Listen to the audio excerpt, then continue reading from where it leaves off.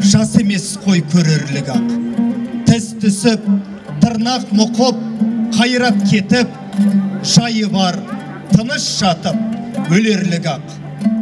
Тынышына қоймады оны өзге аңдар. 533 жителя Шимкента с начала года прошли бесплатные курсы казахского, русского и английского языков.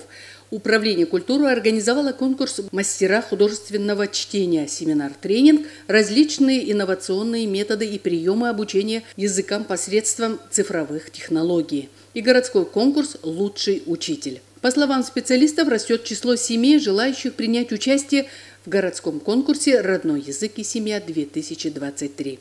жеке кәсіпкерлермен Совместно с индивидуальными предпринимателями и представителями Центра развития языков будет организован конкурс. В течение лета граждане в возрасте от 6 до 60 лет могут участвовать в конкурсе Тальт Сайбага.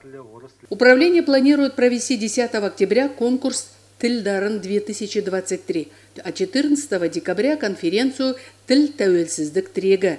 Цель – стимулировать повышение интереса горожан к изучению языков, особенно среди молодежи.